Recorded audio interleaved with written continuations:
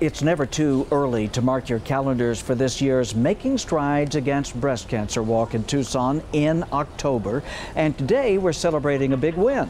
Nine on your side, Stella Inger joins us live downtown from an event where members in our community are being thanked for their hard work.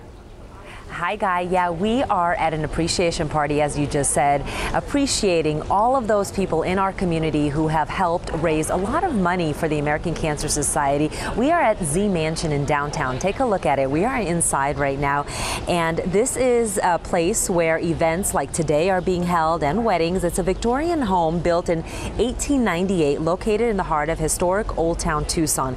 Z Mansion, short for Zellweger Mansion, still a private residence. The owners of the home, the Thomas Langdon Hill family, make it available for select events. In October, 8,500 people walked in the Making Strides Against Breast Cancer Walk at Kino Sports Complex. That's not counting all those who actually donated money to the cause. And this year, in October, it will be the 15th year the walk will take place in Tucson. I want you to take a look at some numbers. In October, Making Strides in Tucson raised more than $232,000. Since the first Making Strides walk in Tucson in 2003, U Tucson have helped raise more than $2.6 million. And back in August, KGUN 9 and our radio partners at 94.9 Mix FM presented Making Strides of Tucson a $10,000 check courtesy of our company, EW Scripps.